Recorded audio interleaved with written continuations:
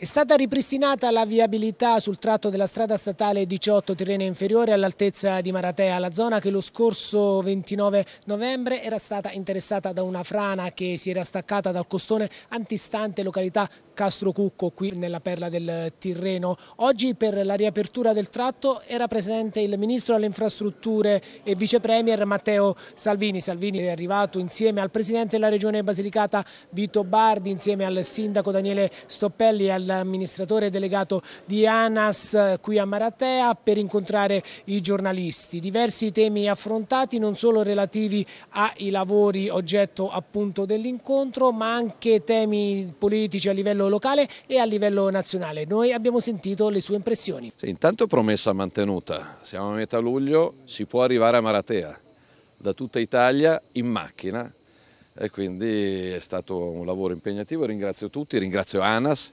innanzitutto ingegneri, tecnici, operai, il comune, la regione, tutti hanno fatto la loro parte.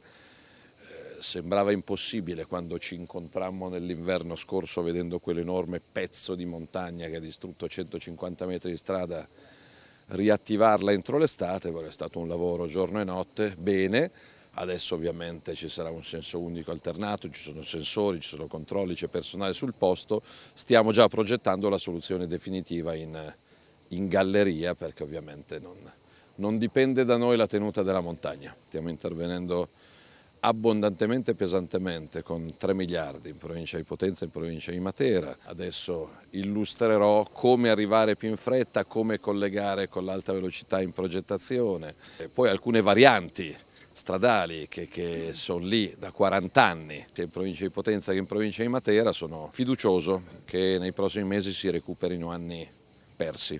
Anche temi nazionali oggetti del confronto con Matteo Salvini, sentiamo. Serve una riforma della giustizia urgente, efficace e condivisa, non contro nessuno ma coinvolgendo tutti, magistrati compresi, sperando che nessuno sia bloccato dall'ideologia.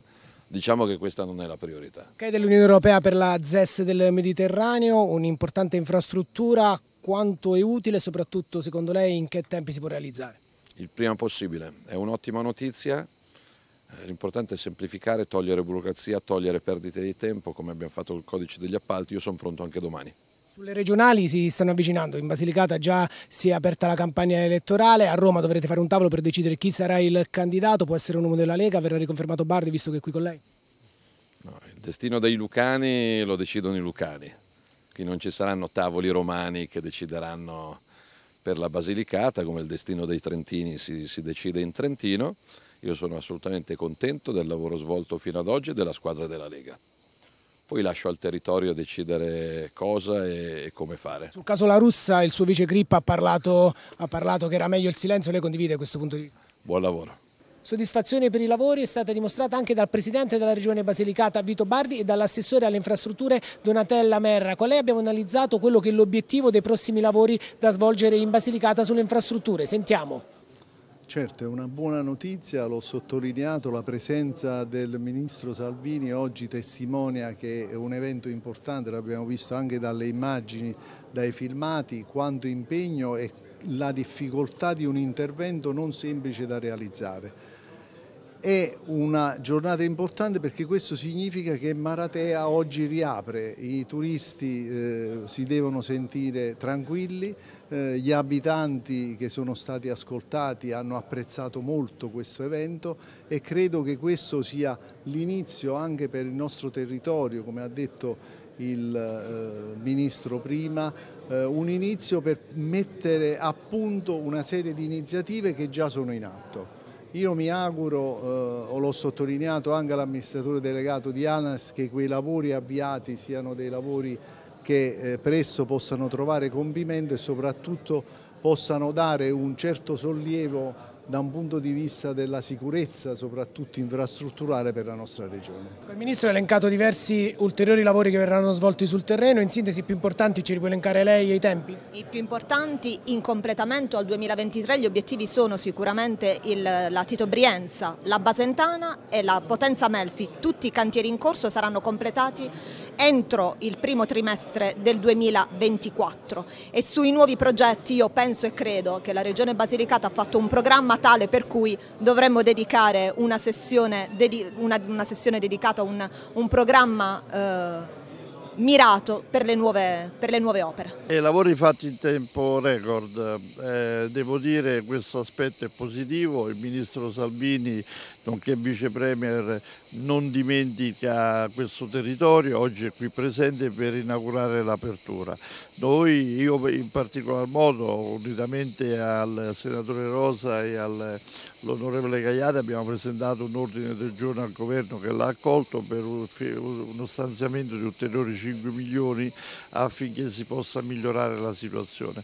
C'è un dato negativo che devo evidenziare eh, che l'apertura è a orario, dalla mattina alle 7 alla uh, sera delle 23. Ecco, chiediamo all'ANAS di rivedere meglio la propria organizzazione perché già fa, tanto ha fatto l'ANAS, però di rivedere meglio la propria organizzazione affinché si possa aprire la strada 24 ore su 24. L'oggetto specifico dei lavori qui a Maratea ce li ha spiegati l'amministratore delegato di ANAS Aldo Isi. Questo intervento è circa 4,5 milioni di euro perché siamo intervenuti in più fasi tra diciamo, la parte di, di studio propedeutica, le università, il disgaggio del materiale, la messa in sicurezza del versante e la realizzazione della viabilità stradale, quindi un puzzle di interventi per un, complessivo costo di 4,5 milioni di euro, però riteniamo che sia stato un costo assolutamente adeguato per l'importanza della località. È presto per dare tempi precisi, ma in linea di massima questa galleria che risolverebbe definitivamente il problema delle infrastrutture di Maratea, che tempi di realizzazione prevederebbe? Allora, è chiaro che stiamo parlando di un'opera più complessa rispetto a quella che avete visto, questo è stato un intervento lampo, in emergenza, in urgenza, ha beneficiato di tutta una serie di accelerazioni normative, vi è anche un commissario straordinario in questo caso che ha agevolato. Per la realizzazione di un'opera del genere che è un'infrastruttura nuova vi è necessità di un iter autorizzativo, di una progettazione, un iter autorizzativo, un bando di gara e finalmente la realizzazione, quindi parliamo di un percorso più lungo. L'impegno che posso assumere oggi qui è di accelerare la progettazione al più possibile. Sul tratto che è stato inaugurato oggi, poi dopo la stagione estiva verrà chiuso per completare i lavori oppure resterà così? Allora, oggi vi è una fascia che è stata individuata in termini di eh, apertura diurna che va eh, credo fino alle 23, dalle 7 alle 23. Per quanto riguarda la stagione estiva abbiamo garantito fino al 30 di settembre questo è l'impegno che abbiamo assunto in funzione di un tavolo tecnico che ha assunto una decisione sulla base di un'analisi di quelle che sono le problematiche del territorio del contesto. È chiaro che in una stagione invernale, con la stagione delle piogge, la precarietà del versante impone una riflessione importante. E dismessi i panni di Ministro delle Infrastrutture, Salvini nel pomeriggio si è spostato a Potenza come leader del Carroccio per inaugurare la nuova sede regionale del partito. Molti i militanti iscritti qui ad accoglierlo nel capoluogo di Regione Lucano. Sentiamo le sue impressioni. Per me è un orgoglio con una Lega che cresce in tutta Italia aprire la sede regionale della Lega a Potenza per la Lucania, per la Basilicata. Sono orgoglioso di quello che stanno facendo uomini e donne della Lega nei comuni e in regione ringrazio Mario per quello che ha fatto e soprattutto per quello che farà.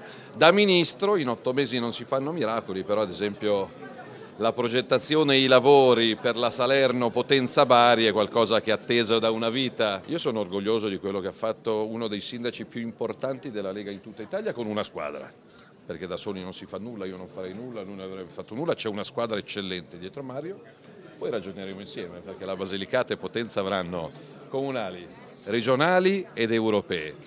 E siccome sono circondato da persone assolutamente in gamba come Pasquale Pepe, Mario Guarente, gli assessori continuano a fare gli assessori ovviamente, eh, vedremo come, come, valorizzarli al meglio. Com'è lo stato di salute della Lega in Basilicata? Eccellente, però io sono un perfezionista e quindi conto di raddoppiare il tesseramento. Già adesso il tesseramento della Basilicata ha superato eh, gli obiettivi prefissati, però siamo a luglio e quindi c'è ancora tempo per eh, coinvolgere tanti nuovi amministratori, si stanno avvicinando sindaci, consiglieri, imprenditori, conto che le liste in Comune a Potenza, in Regione Basilicata e per le europee vedano la Lega primo partito del centrodestra, questo è l'obiettivo che ci diamo.